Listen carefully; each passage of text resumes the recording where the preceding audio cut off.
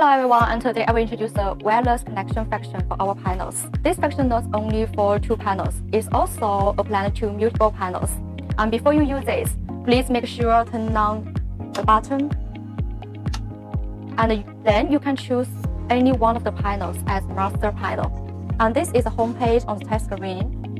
You need to um, touch the setting button and go to the group button, adjust it to the master mode and then try the sleep mode. And now you can see on these two panels get connected.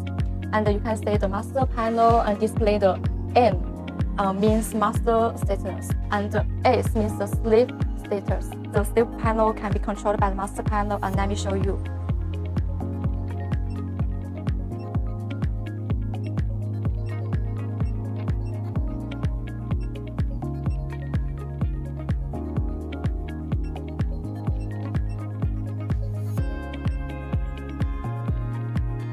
And now if you don't want to get panels connected and you want to use this um, separately, you just uh, go back to the home page and try the setting, the same operation and uh, adjust the master to the solo mode.